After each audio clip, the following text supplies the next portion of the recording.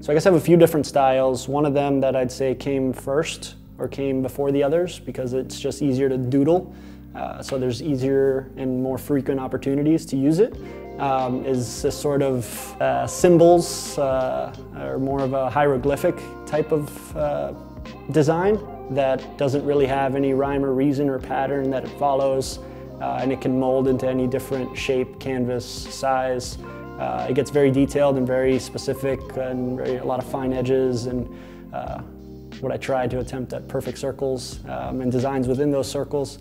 Um, but I don't know where it came from, it's just, it just came out and it's kind of developed over I don't know, I guess over the course of 33 years, because I've been sketching a version of it my whole life. Sometimes I put it on sneakers. Uh, I, I don't know, my brain works this way when, when I have a pen or a marker in my hand.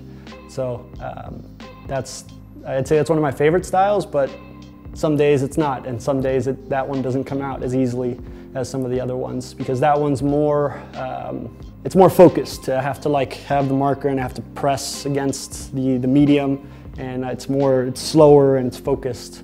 Uh, and sometimes I feel more, uh, I feel like it's too limiting. I feel more expressive and I need to like get my, the rest of my body involved in the painting and that's where some of the other styles come into play.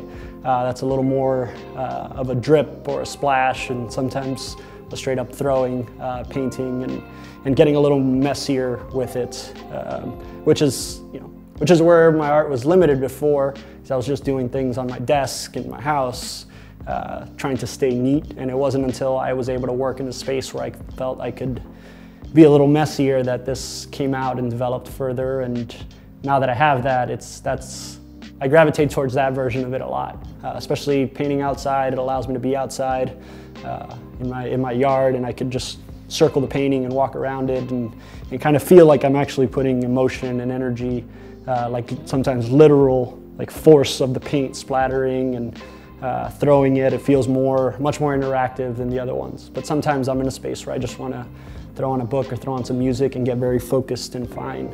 Um, so I guess it depends on the mood on that given day.